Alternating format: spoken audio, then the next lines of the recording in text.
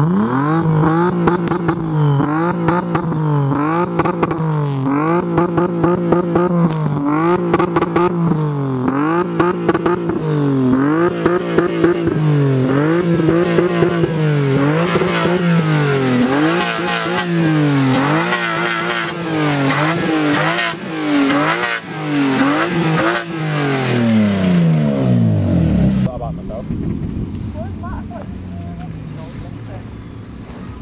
o'clock.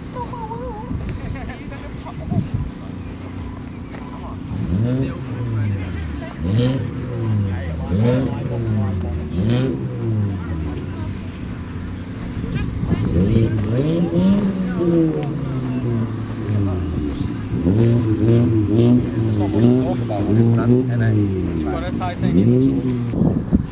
my name is Blake. This is my Toyota Supra NA at the minute, unfortunately. What it is being turbo converted within the next couple of weeks.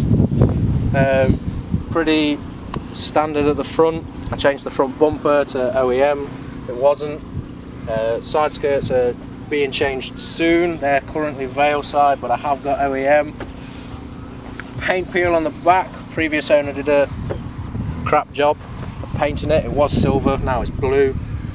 Um, suspension wise, got HSD monopro coilovers, exhaust, 3 inch titanium back, um, 3 inch titanium catback exhaust, sorry. Um, I don't have a clue what the rims are, alloys, they came with the car. Um, other than that, it's pretty stock, standard, until I've done the turbo. Um, once the turbo's on, everything starts changing really. Notice the galaxy effect. Yeah, with the rattle can. The rattle can paint job gets the galaxy colour.